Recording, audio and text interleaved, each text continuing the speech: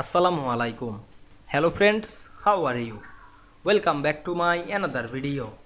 In this video, I am going to show you how to add multiple blank slide in Microsoft PowerPoint.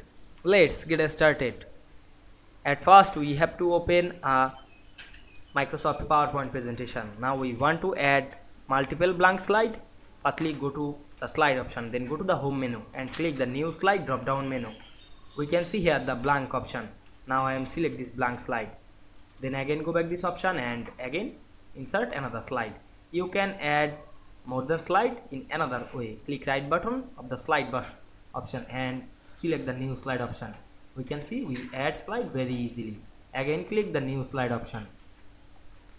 Now we can see we add multiple blank slide very easily. I hope you enjoyed the video. Please like, comment, share and subscribe my channel. Thanks for watching.